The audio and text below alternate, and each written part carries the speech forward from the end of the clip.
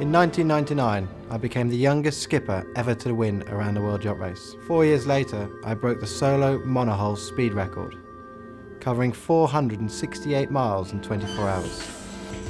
That's an average speed of 19.5 knots, and that record still stands. But records are there to be broken. Challenges are there to be undertaken.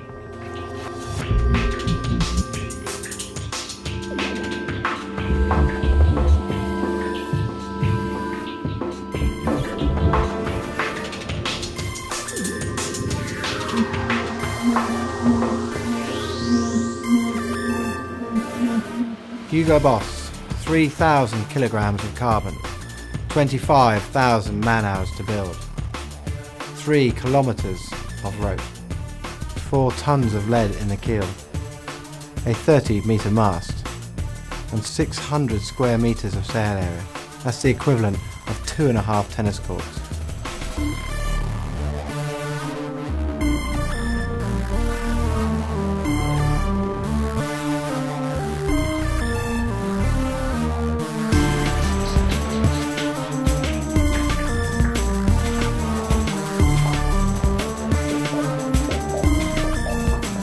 Speeds of up to 40 knots and a potential 500 mile day. 50 tons of force exerted on the keel and up to 9 tons exerted on any point of the sail. That's the equivalent of 6 family cars.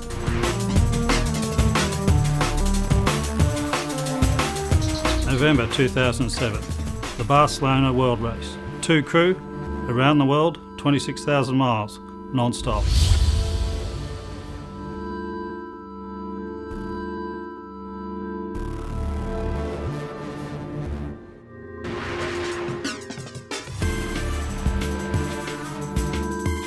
I'd just like to update you. We, uh, in the last few minutes, we just broke 500 miles in 24 hours.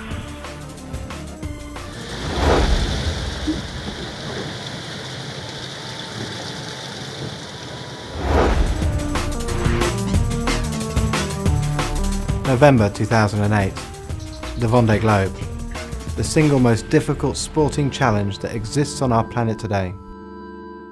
60 degrees south and 2,000 miles from land.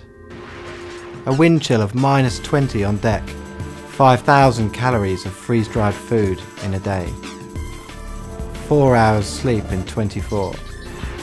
And always the constant noise of a jackhammer as the waves pound the hull and the sails strain against the forces of nature.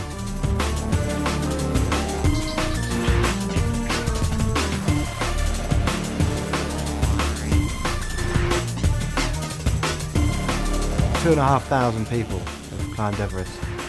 450 have been in space. But only 60 have sailed single-handed, non-stop around the world and survived.